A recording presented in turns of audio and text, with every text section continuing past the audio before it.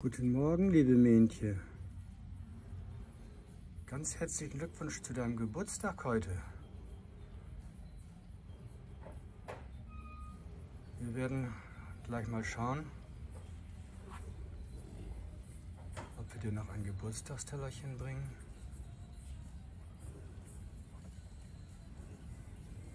Denn es tut uns leid, aber dein menschliches Personal hat im Moment wegen Corona doch leichte Schwierigkeiten, das alles optimal für dich zu gestalten.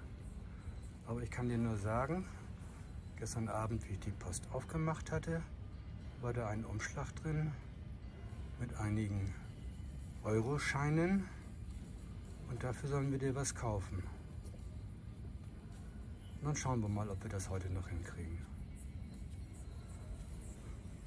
Wollte ich dich ja letzte Woche schon heiraten, aber da bist du hier einfach weggelaufen. Bis dann erstmal. Wir schauen mal, was wir noch für dich heute tun können.